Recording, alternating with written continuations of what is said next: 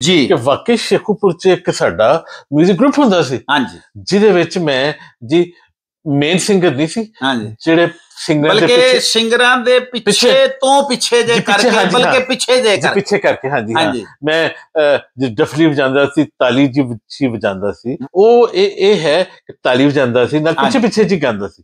ਬਲਕਿ ਕਰੋਨੇ ਦੇ ਦੌਰ 'ਚ ਤੁਸੀਂ ਜ਼ਿਆਦਾ ਤਾੜੀ ਵਜਾਈ ਤੁਸੀਂ ਉਹ ਕਿਉਂਕਿ ਹੱਥਾਂ ਨੂੰ ਉਹ ਸੈਨੀਟਾਈਜ਼ਰ ਲਾਉਂਦੇ ਸੀ ਨਾ ਤੁਸੀਂ ਕਿਹਾ ਤਾੜੀ ਮਾਰਾਂਗੇ ਤੇ ਕਰੋਨੇ ਦਾ ਵਾਇਰਸ ਵਿੱਚ ਮਰ ਜਾਏਗਾ। ਬਿਲਕੁਲ ਜੀ ਕਰੋਨਾ ਦੇ ਵਿੱਚ ਹੀ ਮੈਂ ਅੱਛਾ ਤੁਹਾਡੇ ਵਾਸਤੇ ਜੀ ਇੱਕ ਨੌਲੇਜ ਇਲਾਜ ਦੱਸਣ ਲੱਗੇ? ਨਹੀਂ ਨੌਲੇਜ ਚ ਇਜ਼ਾਫਾ ਹੈ ਕਿ ਮੈਂ ਜਿਹੜਾ 3 ਸਾਲ ਯੂਕੇ ਚ ਕਰੋਨਾ ਜੀ ਰਿਹਾ ਨਾ ਹਾਂਜੀ। ਉਹਦੇ ਵਿੱਚ ਮੈਂ ਤਿੰਨ ਤੋਂ ਚਾਰ ਦਫਾ ਫੇਸਬੁੱਕ ਤੇ ਉੱਪਰ ਆ ਕੇ ਸ਼ੋਅ ਜੀ ਕਰਦਾ ਸੀ।